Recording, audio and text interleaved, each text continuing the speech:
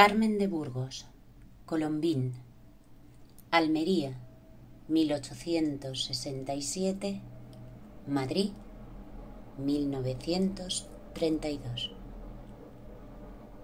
Libre y libertadora.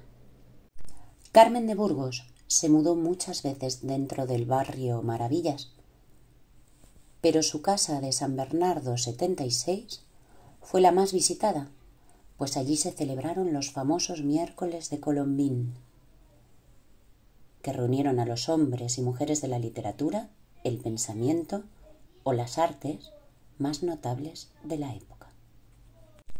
Jamás hubo un obstáculo insalvable para Carmen. Un episodio que retrata su determinación se remonta al día de su boda.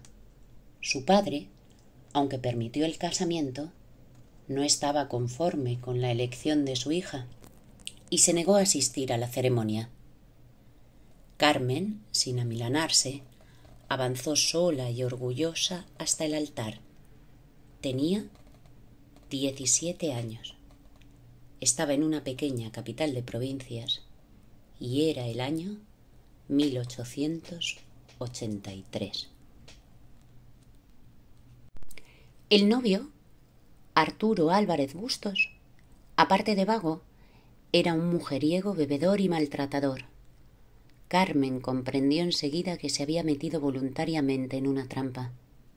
Al principio intentó sustraerse del problema trabajando en la tipografía de su suegro, que editaba el periódico Almería Bufa. Pero esto no fue suficiente para solucionar su situación. Estudió magisterio, opositó, obtuvo plaza y se instaló en Madrid con su hija, resuelta a vivir su vida. La exigua paga de maestra la complementaba enviando artículos a los periódicos hasta que el diario Universal la metió en plantilla, convirtiéndose en la primera periodista profesional. Había nacido Columbín. Desde esa publicación, de la que llegaría a ser redactora jefa, lanzaría dos famosas encuestas sobre el divorcio y sobre el derecho de las mujeres al voto.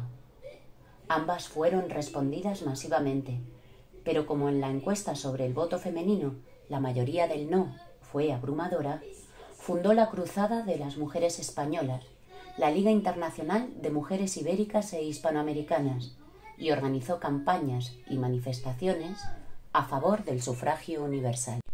Interesada más en la pedagogía que en la docencia, solicitó al Ministerio de Instrucción Pública becas para estudiar los sistemas de enseñanza de otros países, que ayudaran a modernizar la escuela española.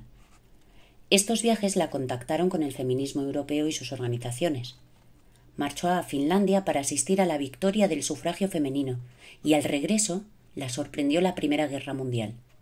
El tren se llenó de militares y como protestara por el trato que los soldados alemanes daban a los prisioneros rusos, la acusaron de espía y estuvo a punto de ser fusilada.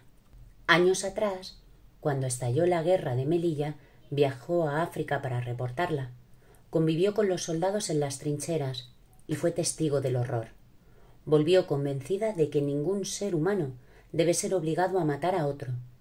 Su condena a la guerra, a la pena de muerte, su declarada objeción de conciencia, su defensa del divorcio y sus denuncias a las leyes que sometían a las mujeres le llevaron a soportar críticas y persecuciones que, aunque no lograron callarla ni detenerla en vida, hizo que la dictadura franquista la incluyera en su lista de autores prohibidos todos sus libros fueron censurados. Promovió la candidatura de doña Emilia Pardo Bazán a la Real Academia. Entrevistó a relevantes actrices. Apoyó a Clara Campoamor.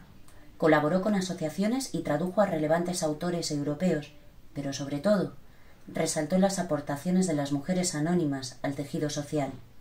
Dos de sus conferencias, La misión social de la mujer y La mujer en España, y su libro La mujer moderna y sus derechos son imprescindibles para conocer la historia del feminismo español.